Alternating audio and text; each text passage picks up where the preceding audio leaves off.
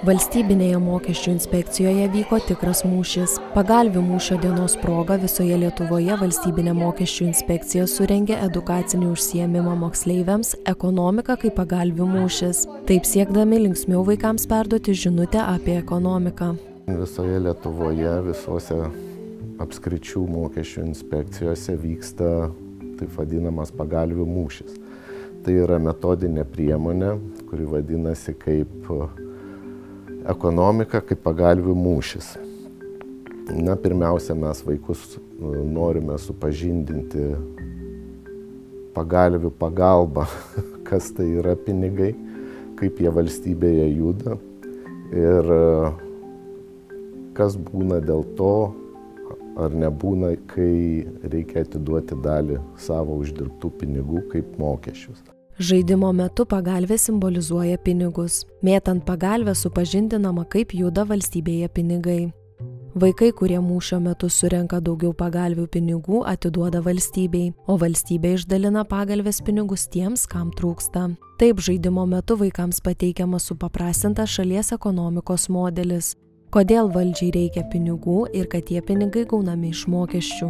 Filmukas ir kad sužinau, kad reikia mokėti mokesčius arba bus kitaip blogai ir ne, negalės nei išgydyti, nei mokytis negalės.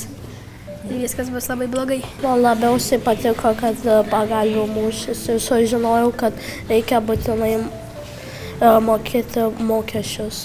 Patiko visiems. Ta... Labai. Man labai. Labai patiko tokia maždaug priemonė ir jinai labai patinka vaikams, jie labai džiaugiasi, bent jau mums taip atrodo. Ir tikimės, kad bent jau pradžioje mes juos supažindiname būtent su pradžiamokslio ekonomikos, su tikraisiais mokesčiais, nes daugelis jų įsivaizduoja, kad mokesčiai tai yra ir komunaliniai ir panašiai. Ir aišku, parodome Mm, filmukų pagalba, kur tie mokesčiai nukeliauja. Tai yra, kad e, mokyklų išlaikymui, gaisrinių, policijos, ligoninių ir panašiai. Specialistas sako, kad šios žaidybinės formos edukacinės pamokos idėja kilo jau seniai ir dabar vyksta ne tik pagalvių mūšio dieną, tačiau ir mokyklose siekiant didinti vaikų finansinį raštingumą. Pati pradžia, pati idėja tai gimė labai seniai ir mes ten net patys netikėjom, galvojom, kad tas žmogus, kuris iškėlė tą idėją, kad čia tikriausiai nesąmonė, bet kaip matome, tos mintys išsirutuliojo ir jos buvo įgyvendintos ir turim puikią priemonę vaikams.